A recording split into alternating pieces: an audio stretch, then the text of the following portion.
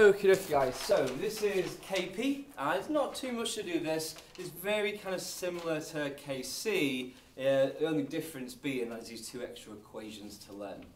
So first one to, and just bang these straight on flashcards, boot camp them, look, cover, right, check, repeat, repeat, repeat, that kind of idea, is to find the mole fraction. This is basically the percentage of your gas moles that are the chemical you're talking about. So mole fraction is the moles of your desired gas, the gas the question's asking about, divided by the total gas moles. That's a really important thing with KP. We only really care about the pressures really, and so it's all about the gas moles. Liquid moles, solid moles, aqueous moles, don't care about, it's the gas moles. You can essentially ignore anything which isn't a gas, essentially. So first thing to do is mole fraction equals desired gas over total gas moles. Once you've got your mole fraction, we can use that to find the partial pressure of that gas. Now, partial pressure has the symbol small p. We find that by taking the mole fraction and multiplying that by the total pressure, which has got the symbol large p. So just remember the difference. Total pressure is large, your partial pressure is smaller. Which I guess kind of makes sense. If total pressure is the whole thing, that will always be bigger, so a larger P. So let's go through an example of this, and let's try and find the partial pressure of A in my uh, equilibrium here. So 2A gas reversibly goes to B, which is a gas, plus C, which is a solid. And I've just written the number of moles at equilibrium underneath, and I've also given you the total pressure of the system, 50 kilopascals. So to find the partial pressure, first of all I need to find the mole fraction. So my mole fraction of A is equal to the moles of my desired gas, which is 10, divided by, well, have a little think. What will be my total moles underneath? Well, it'll be 25 because we do not include the A because this is a solid, not a gas. And that comes out as 0.4. Once we've got that, we can say the partial pressure of A is equal to our mole fraction, 0.4, multiplied by the total pressure, which is 50. And that comes out as 20. We do need units for partial pressure though, so if your total pressure is in kilopascals, then your partial pressure will be in kilopascals. If they gave you it in pascals, dead easy, just convert you, write your answer as pascals. If they gave you it in atmospheres, ATM, then just pop your answer in atmospheres. If you need to convert, one atmosphere is 101 kilopascals. But usually, just whatever they give you the total pressure in, you can just bang your answer in the same unit, so it's dead simple. So that's how we find that. Once we've got all of our partial pressures, we can use that to make a Kp expression and find the Kp. So a Kp expression, and in an expression it does need to start Kp equals. So if you don't include this first bit, you'll stand a really good chance of not getting the mark. So do start at Kp equals. And that is equal to the partial pressure of your products raised to the power of their big number in the expression, just like in KC, only in KC we're dealing with concentrations, so we would use square brackets, raised to the power.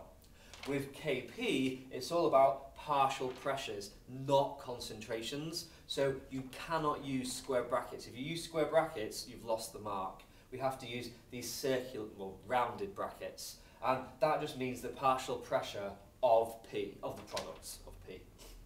Raised to the power.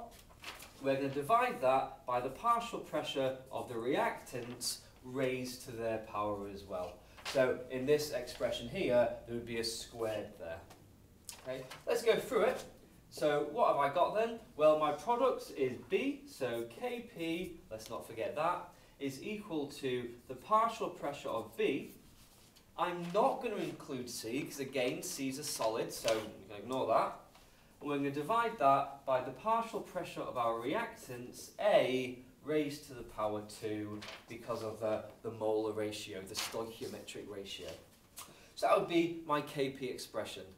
now, when you're doing these, be really careful. You have to make sure that you apply this expression to the chemicals in the question.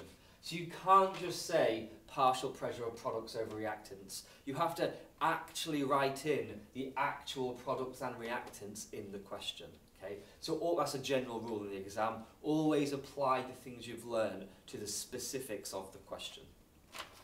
Now, in terms of units, each of our partial pressures, well, let's say our partial pressures was back in kilopascals. Each of our partial pressures has the units kilopascals. So that will be kilopascals, because I've only got one, over kilopascals squared, because of the two. So let's cancel these down. Again, it's very similar to uh, Kc, only Kc is moles per decimeter cubed because it deals with concentrations. Cancel that down, so that'll go give us 1 over kilopascals. And in maths, you can flick something from the bottom of an equation to the top by reversing the sign of the power. So this would go to kilopascals to the minus 1. So for this uh, Kp equilibrium, the units of Kp would be kilopascals to the minus 1. So stop the tape now have a go at these three, write some KP expressions, and do have a try at that. You'll find that really useful. It'll help you remember it so much better. Once you've done that, restart the tape, and I'll go through the answers with you. So, restart the tape. I don't know why you said that. If you'd paused it, you wouldn't hear me say restart. But anyway, so our KP expression for this one will be our products, which is B over our reactants, which is A, and that's going to be squared. Our Kp for the second one, well, our products is B. Our reactants are solid, so we do not include them. So I don't have any reactant terms, so we basically put the number 1. But anything divided by the number 1 is just the same answer. 10 divided by 1 is 10, 7 divided by 1 is 7. So you can essentially just miss that out. And then finally for our, our bottom one here, our products, again we don't have any products which are gases, so we just put the number 1 over our reactants, so as the partial pressure of A multiplied by the partial pressure of B. A really common mistake is people try to add these together. That's not how it works. It's not how it works with KC, and it's not how it works with KP. You have to multiply them together. Okay, so that's the basics. What I've got on the board over here is quite a long question, just to get a bit of practice at it. Probably take you five minutes to do this if you're quick, 10 minutes if you're not that quick. I would try it, you'll find it really useful. It'll help just locking all these ideas into your head. So if you can stop the tape and have a go at finding mole fraction, the partial pressures, and the Kp for this equilibrium here, which is the contact process. So stop the tape. Welcome back. So first of all, you can't actually do this question. Now, if you had done it, that's fine, but technically speaking, you shouldn't have been able to do part C.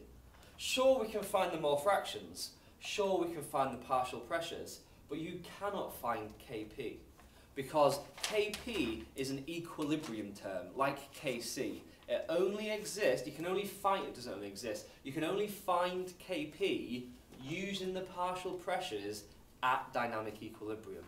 Now, I never said that this system was at dynamic equilibrium. I said I had this many moles, but I didn't specify it was at equilibrium. So your answer to part C should have been no, I, I can't find it, I don't know if I'd have started the question at equilibrium, then we can do it. So that's a really important concept. You can't just bang in any moles numbers. You have to wait for your system to reach equilibrium before you find your mole fractions and then your partial pressures. So, assuming it was at equilibrium, a little bit of me writing up here, so kind of bear with me. We've got our mole fraction of SO2 which is the moles of SO2 divided by our total moles of gas. So let's double check a really good safety net. Just double check, is everything a gas? Yep, yep, yep. Okay, so my total moles of gas is the sum of everything. But do check that because quite often there'll be a cheeky solid or something in there. Just FYI, if everything in your equilibrium is a gas, then everything's the same, so the same, so we say homogeneous. This is a homogeneous equilibrium. If you had a mixture of different physical states, two gases and a solid, a gas and a liquid, anything like that, well, different, that's hetero, so heterogeneous, that would be. It's the same with catalysts, same kind of idea in terms of naming. So let's bang in some numbers. My moles of SO2 was 1.5, total moles is 2.75, which equals, I'm just going to round everything straight away to 3 sig figs, because that's the minimum amount that the question goes to, so that's what I should go to. And that's going to be 0.545 mole fraction of O2, 0.75 over 2.75, which equals 0.273. And of sulfur trioxide, little revision task, try and find the shape of that. Try and figure out what the shape of that is. Think about the bonding pairs and lone pairs, or bonding regions and lone pairs. Uh, so I've got 0.5 over 2.75, which equals 0.182. So that's all my mole fractions. Hopefully you managed to calculate them too. We can now apply them into our partial pressure equation. So partial pressure of SO2 is our mole fraction times by the total pressure, which was 900 kilopascals. And that's going to give me 491 again units will be kilopascals because that's what they gave me the total pressure. Do check that though, it could be in atmospheres, could be in pascals, could be in whatever. So my O2 will be 0.273 again times 900, which equals 246 kilopascals. And then sulfur trioxide, trigonal planar shape by the way, three bonding regions, zero lone pairs. And that will equal 0.182 times 100, which equals 164 kilopascals. So there's all my partial pressures. Now we can do part C, and we can do it because these partial pressures were obtained at equilibrium. Let's start our expression. Kp is equal to the partial pressure of SO3 raised to the power 2 over the partial pressure of SO2 raised to the power 2, because there's a big 2 there, multiplied, not added, multiplied by the partial pressure of O2. So feeding in those numbers, we've got 164 squared over 491 squared multiplied by 246. Bang it all in a calculator. If you're not good at using your calculator, and that's fine if you're not, don't try and do it all in one go. You'll mess it up, you'll miss a bracket it'll all go horribly wrong. And with KP, because it can vary massively, it's hard to tell whether your answer's sensible. With pH, it's quite obvious. If you get a pH of minus 70, you've gone wrong somewhere. If you get a pH of plus 70, you've gone wrong somewhere. It's not really the same with KP, so you need to make sure you type in these numbers correctly. Now you might think, oh, I'm not going to make that mistake. You'd be amazed when I'm marking papers how often people get exactly the right numbers but the wrong answer, and it's just because they've typed it in wrong on the calculator. So if you're not good, do 164 squared, write the answer down. Do one, uh, 491 squared, write the answer down. Then do the answer of this divided by those two. Just break it down a little bit and show what each of you are working. Either which way, popping this in a calculator correctly gives you 4.54 to 3 sig figs times 10 to the minus 4. In terms of units, I've got two terms on the top, so that's kilopascals squared, and I've got a total of 3 on the bottom, so that's kilopascals cubed. Let's cancel them down, so that's going to, 2 there is going to cancel that 3 to a 1, so that's 1 over kilopascals.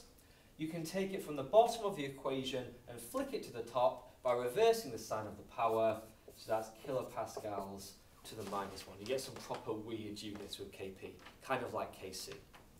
And that, guys, is partial pressures.